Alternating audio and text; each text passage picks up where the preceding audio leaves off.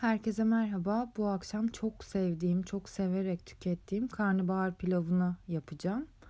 Öncelikle rondoya karnabaharları yerleştiriyoruz ve çok ufalana kadar çekiyoruz. Tabi rondomun biraz haznesi küçük olduğu için ben birkaç kere de bu işlemi yapacağım. Evet hepsini çektim. Bir tavaya ister tencereye alabilirsiniz.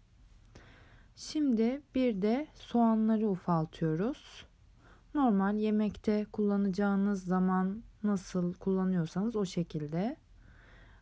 Ben video rahat olması için rondoda yaptım. Elimle yapmadım. Bu arada tek elle video çekiyorum. Çünkü bunu çok soran oluyordu. E, soğanları da ekliyorum ve ocağın altını yakıyorum. Zeytinyağı yaklaşık 2-3 yemek kaşığı. Ben hep yemeklerde zeytinyağı kullanıyorum. E, zeytinyağını ekledikten sonra e, kısık ateşte soteleyeceğim. Tuz ekliyorum. Yani bir çay kaşığı, bir tatlı kaşığı kadar düşünebilirsiniz.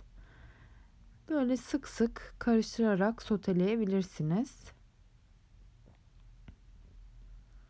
Yaklaşık 15-20 dakika sürüyor pişmesi.